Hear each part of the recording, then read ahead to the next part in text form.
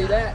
So I got this 2021 Escape here. I want to show you all this crazy junk it's doing. So you get in here and you just cut the key to the on position and the car cranks. After replacing a lot of crap, uh, VCM, we've done oodles amount of testing on this thing. We uh, unplugged the grill shutter because, believe it or not, the grill shutter is run off a LIN wire that also runs to your alternator, and then that can make your car not crank loud. What I ended up finding was it this uh, this bad boy right here.